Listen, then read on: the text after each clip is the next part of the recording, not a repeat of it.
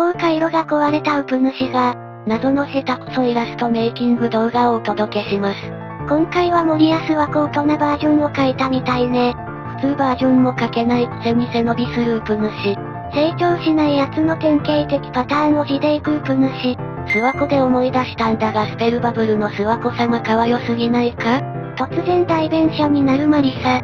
声がいいんだよな声が。母性的な声がたまらないんだぜ。あらかわいい。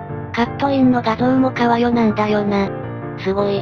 プロのイラストレーターの絵の後にウプ主の絵を見たら絶望しかないわね。ウプ主強く生きるんだぜ。というか下書きの時間長くない？なんと下書きを2回することにしたんだぜ。1回書いた下書きを元に上から2回目の下書きを、することでブラッシュアップすることができるんだぜ。完全にウプ主の独学でやってるけど、本当に効果はあるのかしら？イラストレーターの斎藤直樹先生も下書きは3回くらいするって言ってたから多分効果あるんだぜ。斎藤直樹先生の下書きは明確な目的があるけどウプ主はないでしょ。都合よく先生の主張を切り取る。これまたダメなやつの典型ね。まあそう言ってやるなよ。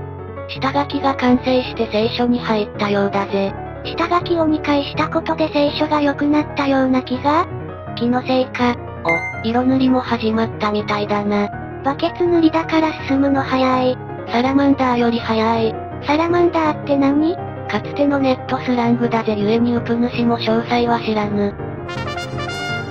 あ、アップにしすぎた。やめろあらが目立つ。それでは改めて、完成。時間かけた割に背景が微妙な出来なんだぜ。ほなまた。